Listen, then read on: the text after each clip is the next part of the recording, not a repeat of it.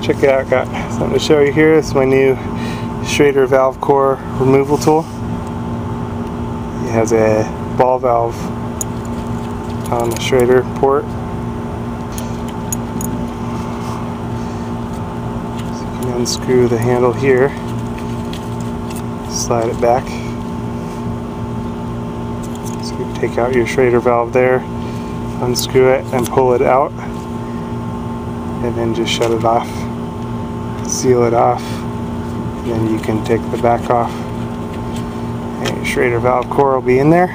Change it out with a new one. Put it back in. Seal it back on. Open the line. Tighten down the Schrader valve. Disconnect it. Good to go. Pretty cool